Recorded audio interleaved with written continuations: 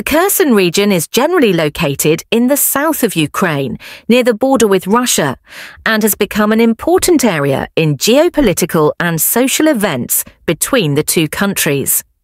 An incident occurred that threatened the peace of the village and shattered its landscape.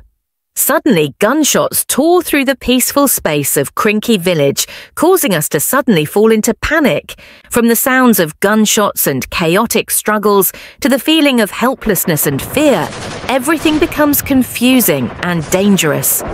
When the ammunition rang out, the space was pierced by the sound of destruction. The first feeling was of startle and panic.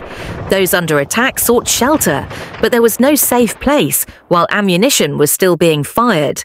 The screams of Russian soldiers filled the air, creating an indescribable feeling of fear and anxiety.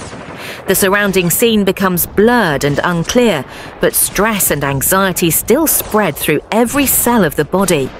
Every decision, every step requires courage and determination in the face of danger. Ukrainian soldiers continued to fire at enemy troops. I feel that this hunting has been going on non-stop.